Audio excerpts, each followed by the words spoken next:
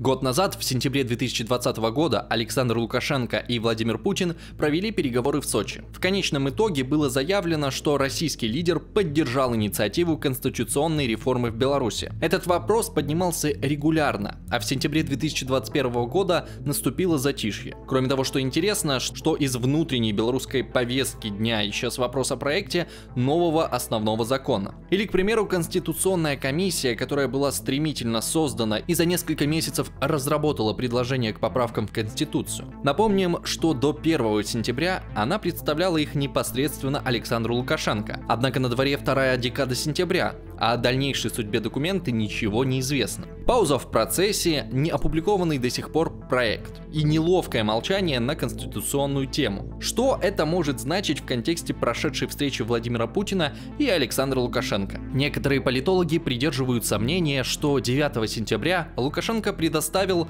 Путину проект Конституции для того, чтобы выслушать оценку российского лидера. При таком варианте развития событий затяжная пауза в разработке новой Конституции Беларуси вполне объяснима. Однако для чего режиму Лукашенко нужно время и остаются ли в силе прежде обещания белорусского лидера? Другое мнение заключается в том, что Александр Лукашенко хочет сохранить прежние поправки для того, чтобы удержать свой режим.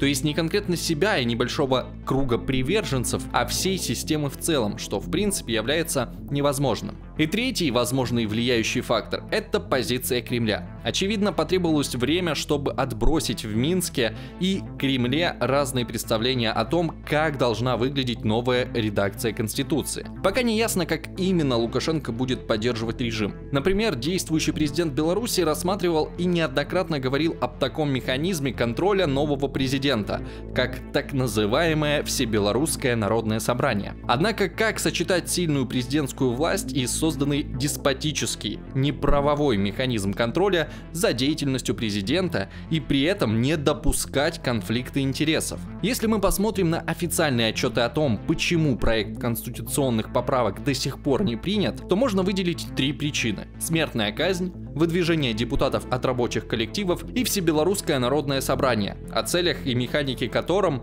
никто не догадывается. Из трех формально нерешенных вопросов по тексту новой конституции, два решаются одним щелчком пальца, буквально в течение недели. Почему процесс референдума и утверждения поправок затягивается, пока непонятно. Тем не менее, Лукашенко вряд ли стоит делать ставку на то, что об обращенных им преобразованиях республики кто-то забыл.